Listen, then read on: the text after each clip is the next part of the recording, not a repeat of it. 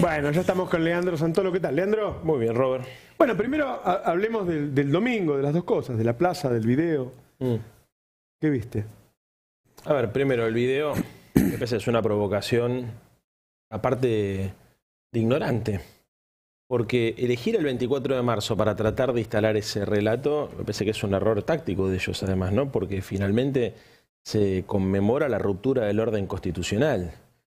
Y después cuando ellos tratan de explicar que en realidad también había una situación de conmoción interior con la AAA previo a la, dictadura, eh, de alguna manera me parece que están tratando ¿viste, de, forzar una lectura que suavice a la dictadura para después eh, lograr endurecer la democracia, que creo que es en el fondo el, el metamensaje, ¿no es cierto?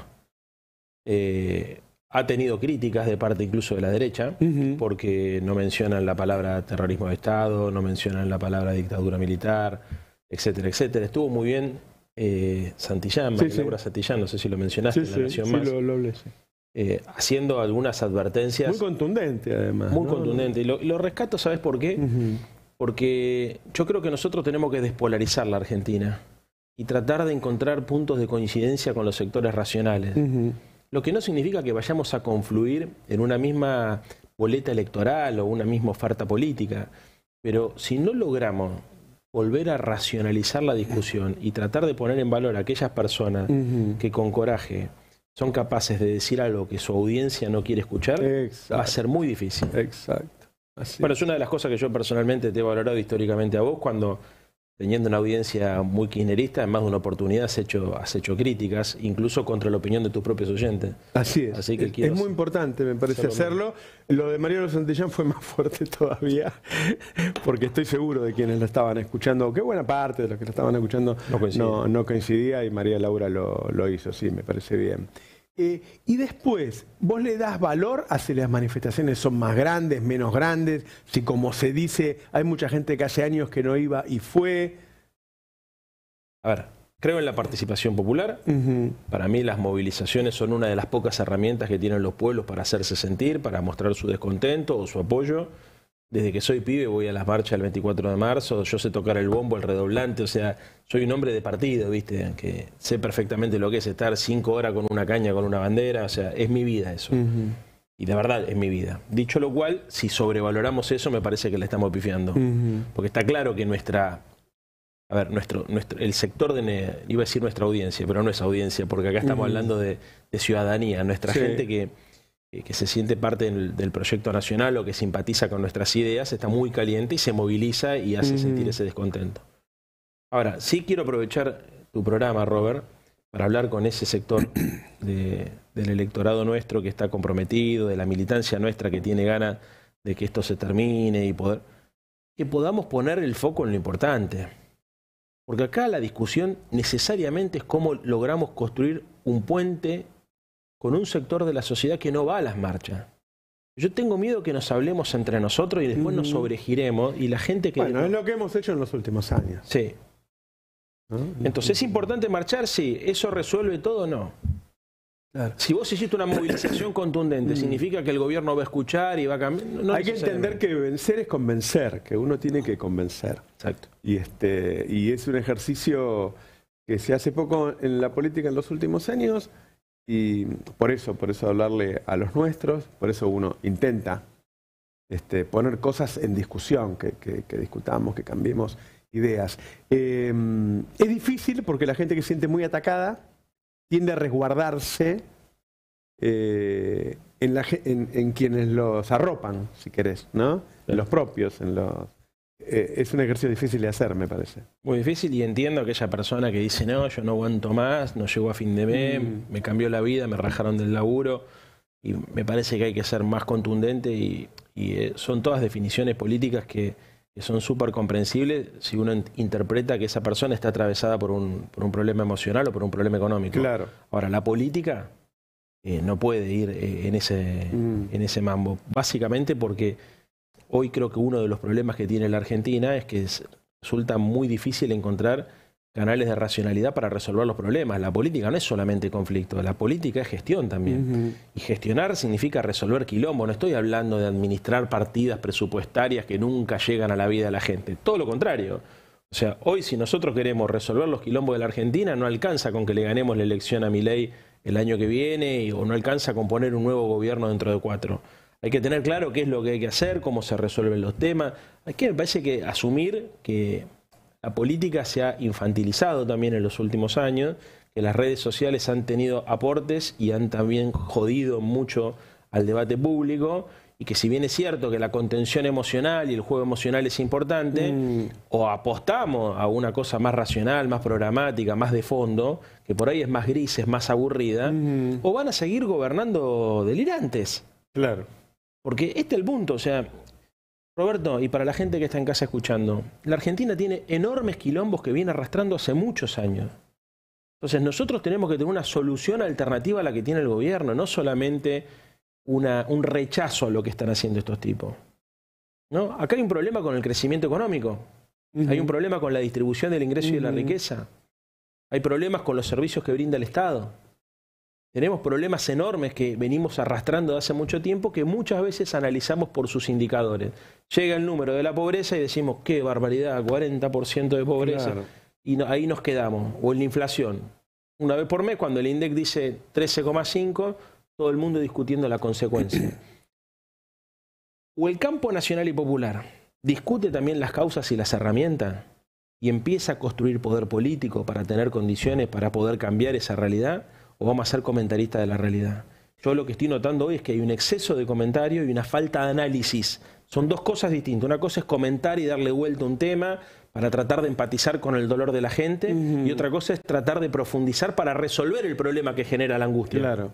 No, y después se toman posiciones dogmáticas, es decir, uno quiere tarifazo y el otro quiere tarifas gratis, que se pagan un precio. Yo me acuerdo durante la guerra, cuando la energía había aumentado un mil por ciento a nivel internacional, los alemanes se calefaccionaban con leña, los ingleses con carbón, bajaron el consumo de energía de ellos un 50%, y nosotros, por esa cosa dogmática, decimos, nosotros somos el partido de las tarifas baratas, subimos el consumo en vez de bajarlo, y eso nos costaba dólares. Y cuando nos faltan dólares, ¿qué pasa? Sube el dólar y atrás del dólar se van los precios. Digo, hace años que los vemos. O cuando queremos decir, eh, tenemos que crecer siempre al, 10% y el salario tiene que crecer un 5% real durante todos los años. Bueno, hay tanto consumo que se nos da vuelta la balanza comercial, importamos más de lo que exportamos, se nos acaban los dólares, volvemos. Y ya hace mucho, demasiados años que nos pasa. Sí.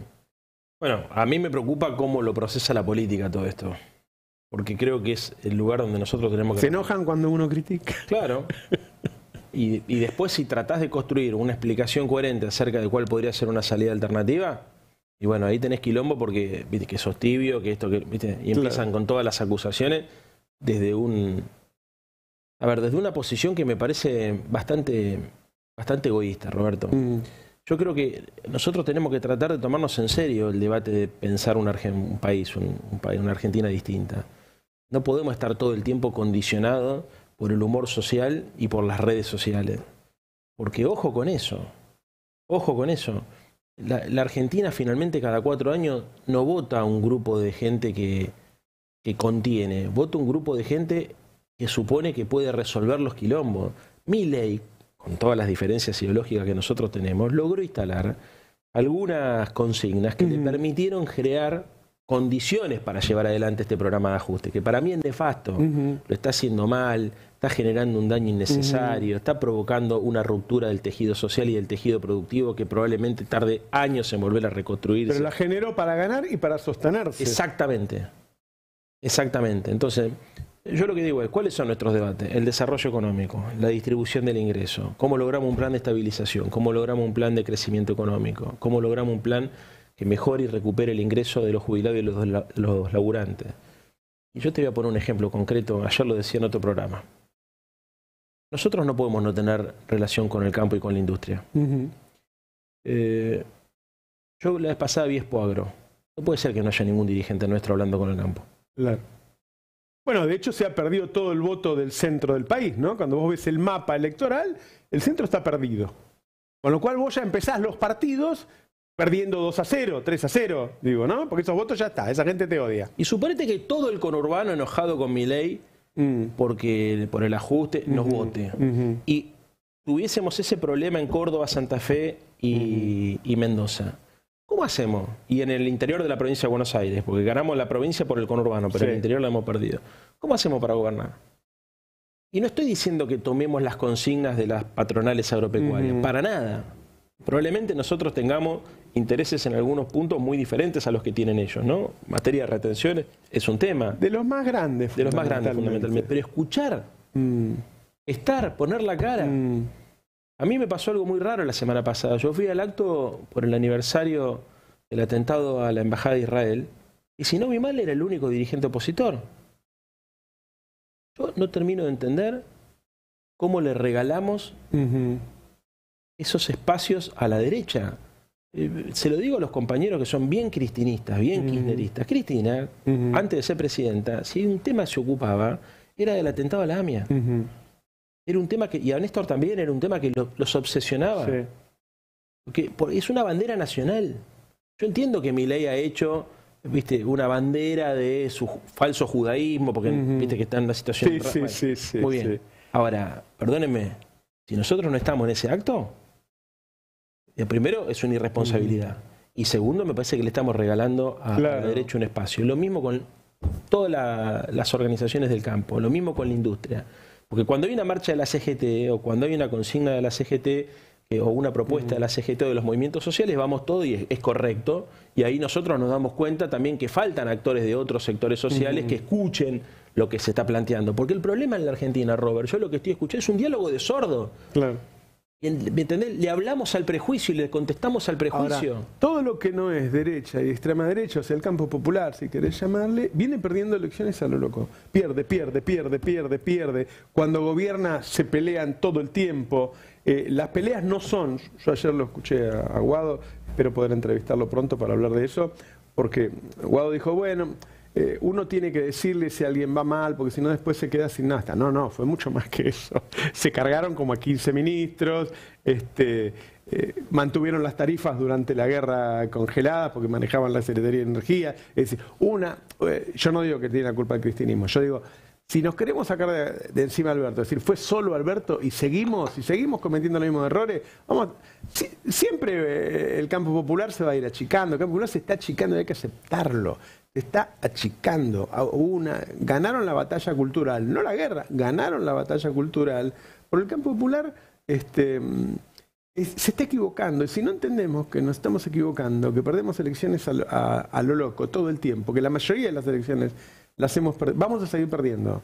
Si no tenemos la valentía de decir las cosas, aunque a alguien le duela, y empezar a discutir eso, cada vez vamos a ser más chiquitos, más chiquitos, más chiquitos, más chiquitos. Sí. Ah, eso sí, ¿eh? Puros ideológicamente. Sí. Bien puro, te vas a ir a dormir tranquilo porque vos no vas a tener ninguna contradicción práctica metodológica. Claro. no te vas a, dormir sin comer, pero sin contradicciones ideológicas. Sin contradicciones, ¿viste? Te vas a dormir tranquilo y bueno, y después son todos unos hijos de puta y la culpa es de ellos, ¿viste? Claro. Bueno, no, loco. La política es el, comentario es, a ver, eh, ¿viste? Hay autocríticas que son mentirosas. Mm. Una si la autocrítica es real, para mí tiene que ser profunda y tiene que ser más complaciente con el otro, con el propio. Claro. ¿Entendés? Porque si no, yo creo que se cometieron un montón de errores en el gobierno. Eh, algunos increíbles.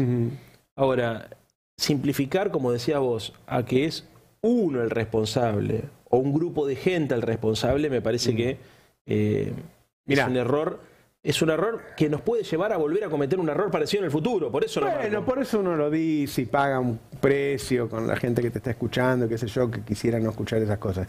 Em, el peronismo en los 80, cuando, gana Alfonsín, realmente estaba destruido. Vos veías los Yo no lo voté, mi viejo era peronista, mi abuelo era peronista, no lo voté porque el peronismo aceptaba la autoamnistía de los milicos. Entonces yo voté a Alfonsín que decía que los iba a juzgar, porque ese para mí era el hecho principal, porque yo estaba al tanto de lo que había ocurrido.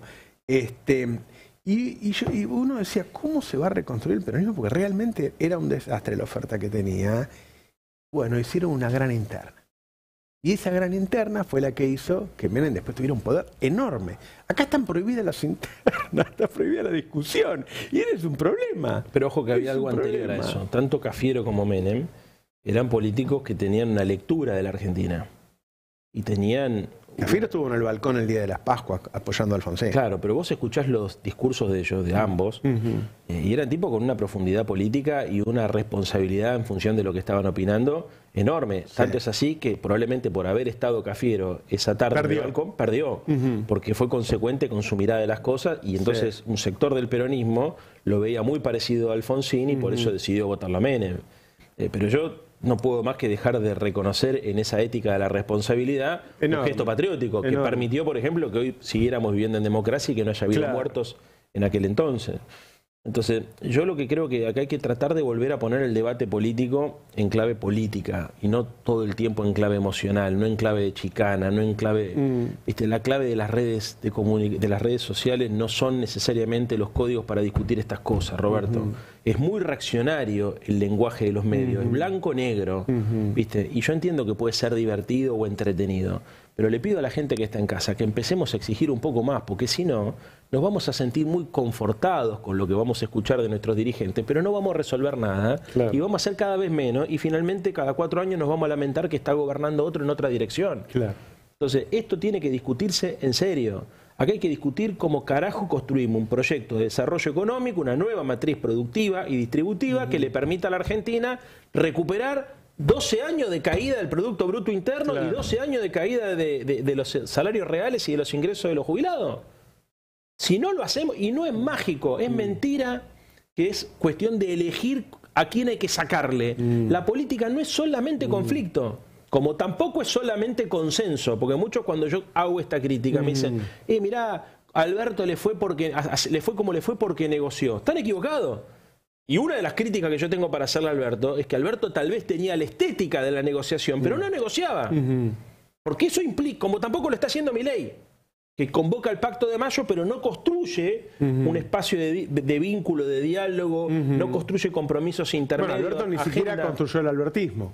No, y no le dio bola al Consejo Económico y Social y tenía un tipo como Vélez, un peronista clásico que podría haber cumplido un gran papel, no sé por qué fue lo que sucedió eso, que tenía la responsabilidad de escuchar a todos los sectores sociales y construir soluciones y no lo hicieron. Mm. Entonces, lo que estoy diciendo es, ojo con el tema de exacerbar el conflicto como lógica para resolver los quilombos, que además es no entender lo que está pasando en la democracia en Occidente, porque estas democracias conflictivas todo el tiempo que generan conflicto, conflicto, conflicto, se vuelven ingobernables y les está pasando a todos. Y ojo también con creer que el consenso mágicamente resuelve los quilombos. Lo que yo le pido a la audiencia es que entendamos algo, que hay que construir un equilibrio, no puede ser que estemos todo el tiempo pendulando claro. en los extremos. Ah, no, hay que consensuar, entonces no tengo propuesta, no tengo política y dejo que venga a la derecha y me imponga la agenda. No, viejo. Ah, no, lo contrario. Eh, cada tipo que tiene guita es un enemigo y la discusión es cómo le quito el excedente para redistribuirlo con la gente. Tampoco. A mí me gustaría que ahora no, pensemos que eh, tenemos que tomar la ideas de la derecha e ir con eso, porque justamente esta singularidad tecnológica, este crecimiento tan grande, hace que nosotros necesitemos ser creativos todo el tiempo y todo el tiempo generando cosas nuevas. Che, muy linda la charla, como siempre, muy rica, y, también me gusta nada que vos... Eh, provoque, sí, provoque, sí, sos, provocador. Ojalá. una, última cosa. Sí. Robert, vamos a pedirle a la gente que está escuchando que nos ayude a elevar un poquito el nivel del debate y que podamos entre todos construir, aprovechando si es que alguna ventaja tiene estar en la oposición y que tenés más tiempo para pensar y sin lastimarnos. Sin Yo no quiero lastimar a nadie ni quiero que, tampoco nadie nos lastime a nosotros, ¿viste? Yo noto a veces que el debate está demasiado cargado de bronca y una cosa es hacer una autocrítica y otra cosa es pasarse facturas enormes. Yo estoy podrido de escuchar compañeros que lo que están buscando es ver cómo hacen para capitalizar parte del electorado que se está desilusionando de algún dirigente nuestro. Sí, exacto. Es muy mezquina la construcción. Exacto. Y eso lo que termina es una fragmentación del espacio. Exacto. Y te lo digo por experiencia personal. ¿eh? O sea, hay cosas que uno dice, che, yo no sé si me tengo que bancar algunas agresiones mm. de parte de quien viene. Yo estoy mm. dispuesto a bancarme agresiones de gente con la cual nosotros no podamos, por ejemplo, si el gobierno, mi ley cada vez que me agrede, para mí es natural, si nosotros representamos otra cosa. Claro. Ahora que compañeros y compañeras nuestras que se suponen que tenemos más o menos con matices y con mm. diferencias la intención de construir un país más justo, estemos viendo a ver, viste, ah, este viene del radicalismo, ¿entendés lo que digo? Sí, sí, sí, Entonces, les pido a todos, porque no lo digo por mí, porque si nosotros en la ciudad de Buenos Aires logramos juntar 32% de los votos, casi 600.000 personas, porque trajimos gente que venía de afuera del peronismo. Ojo. Y por eso tenemos 10 diputados del peronismo en la ciudad de Buenos Aires y 4 diputados nacionales. O sea, porque logramos articular una cosa más amplia, más grande. Entonces, me parece que es un error estratégico andar verdugueando a gente que por ahí no canta la marcha peronista, pero que tiene una sensibilidad parecida. Que es un poco el laburo que tengo yo de tratar de hablar con ese sector de la sociedad. Beso a todos. Gracias, querido.